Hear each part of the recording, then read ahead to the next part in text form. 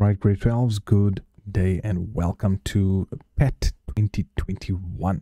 Okay, so I'm going to take you through in this video just the PAT document, what is required from you um, so that you have a good idea. Most of you should be um, finishing phase two or on phase three at this point already. Um, but let's just go through this and uh, yeah, let's see how we can help you. Okay, so I'm going to scroll down.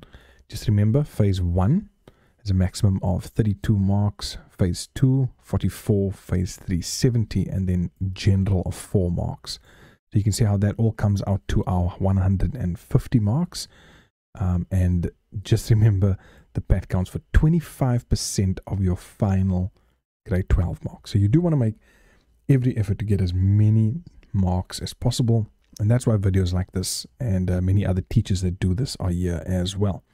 So let me just get there. Here we've got our topic talking about unlocking a resilient future. We're talking about the COVID virus, you know, everything that goes with that. So I'm going to go past that because we know what that is. We've already got what our task is. And here we just have our overview of phase one, two, and three. So creating the folder structure, you know, all those things of phase one. Right. So in phase one, we need to create the, the uh, folder structure. Now that folder structure is simply creating your PAT 2021 document um, and having your phase one, two, and three folder inside of that. Okay. You're going to create your report. Your report is basically your phase one working document, but by the time you get to phase three, it becomes your report. That has to have a cover page, an automatic table of contents, an automatic table of figures as well. You've got to have some of your headings, addendums, um, you know, all these different things. Uh, you have to define your task. So that's your task definition. It has to be plus minus 300 words. Font size 12. They don't tell you what font type, so you can use any one you want to. But that 300 words must answer these questions over here. What is the current situation? What will be the focus and purpose of your investigation? How are you going to go about it? You know, in other words, you're going to you're going to conduct a, a questionnaire. You're going to give it out to people. You're going to take that, you're going to turn it into a spreadsheet. You're going to take that spreadsheet and turn it into a database. And then who is it for? Okay, so all of that information is obviously up here in the topic. Okay, and then you need to determine a focus question. You want one focus question, which must clearly reflect the main focus of your investigation, a single sentence, clearly phrased, concise and reachable, very researchable, and clearly relevant um, to what you are going to be researching. Then we need to have our tables. Okay, we've done this in, in grade 11 already. You know, same thing like your questions, the level, the category, the source, bibliographical information, quality of the information, and a summary.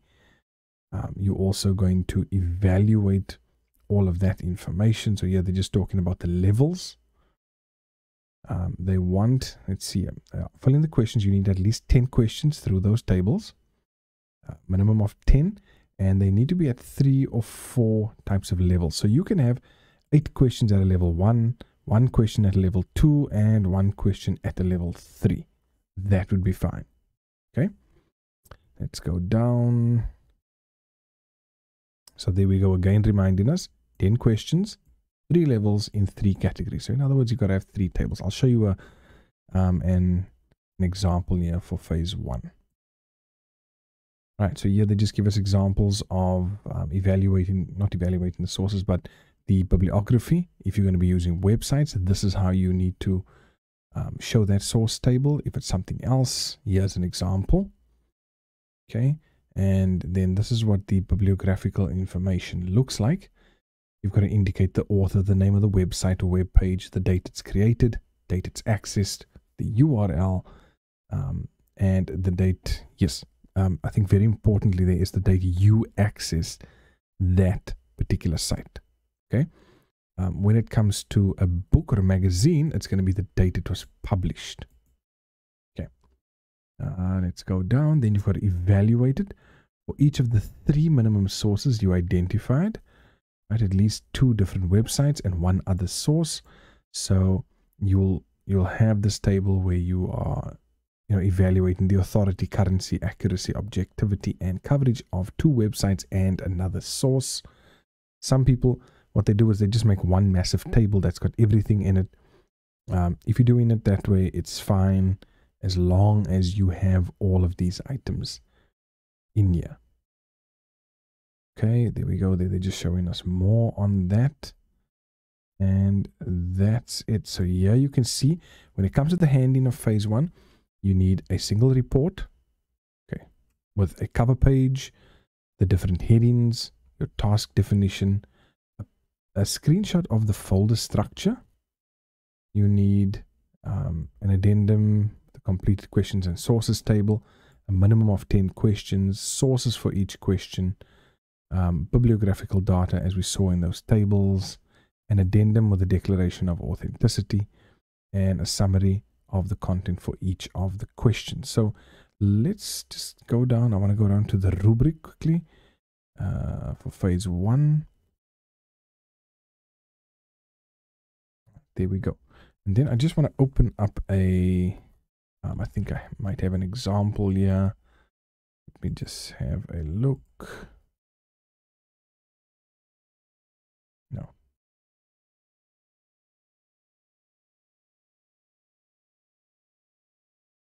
Okay, so let's just look at phase one. And here's your example. Okay, so here we've got our cover page. You can see everything we need there is there. So uh, let's go to our rubric. And the rubric starts with a task definition. So I'm going to go over. Go down, we've got our automatic table of contents. That's fine. Then we've got our task definition. Okay. Now, have a look at this. If you have answered these four questions within your task definition, you get the four marks. End of story. Nothing else. Okay. So please make sure when you draft your task definition, you are answering these questions in the process. Then the focus question. Let's go and have a look here. Is your focus question. Clearly phrased. Question is researchable. Single sentence clearly relevant to the topic. If it ticks all those boxes, again, you get four marks. In the next one are these questions. So if I go through here, this is what I'm talking about. So you've got your heading research questions and you can see there's one table, two tables, and here's the third table. But the number of questions between all three tables totals a minimum of 10. Okay, you can see here I've got my questions, I've got the level of the question, and then the possible source where I will get an answer to this question. Remember, the whole idea is that these tables and questions are here to help you research further into your topic. Um, you'd have a heading up here. We don't really need this heading one. But that's our heading, calendar management. This one's got a different heading and the third one as well. So when I go to my rubric and I have a look at this for four marks, are all questions provided relevant to the topic? Yes. Um, questions are representative of at least three different levels? Yes. All questions are grouped under different categories? Yes. At least three different categories of questions? Yes. So in this case, I'll get my four marks. Okay. Now added to that, is there a possible appropriate source? Yes. Are there at least 10 questions? Yes. Um, number of sources. Are we, you know, going to put in the bibliography two websites and one other source? So if I go over here and I go down to my bibliography, have a look at that. That's the table that you're going to be using. Um, in this person's case, they just did the, uh, two websites. They didn't do the third one.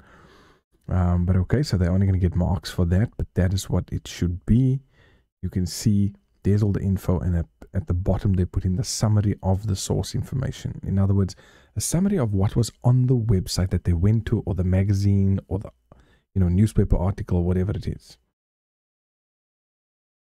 Okay, so when it comes to the bibliography, please just make sure you have those tables that's going to do the evaluation um, on these sources as well. So you can see just for doing that, you're talking about a maximum of eight marks for that. having a summary at the end of your document. That is going to give you um, four marks as well. But this relates to the summary at the end of your tables. Sorry, not the document. So here we go. We look at the bibliography. There's our source, and then we have a summary of information. That's what they are referring to over here. Have summaries. Uh, summaries are completed for all questions. Yes, summaries give information available in the sources, information relative, relevant to the topic, and all summaries are in the learner's own words. Please, no plagiarism. For goodness sake, please. It's not going to work. It's just going to do you a horrible disservice if you do that. And then eight, uh, or number eight, we just look at the document itself. Is it a single report? Does it have the headings? Are there addendums? And is there evidence of the source? Evidence of the sources? If there is, well, there you go. There's your four marks, done and dusted.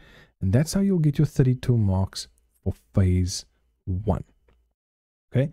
Um, let's just, yeah, I think that's, that's all for phase one. Okay. So grade 12s, that is phase one. I know most of you should be done with it by now. Um, so this would just be a little bit of revision just to see what you've actually done, compare it to the rubric um, before you hand in.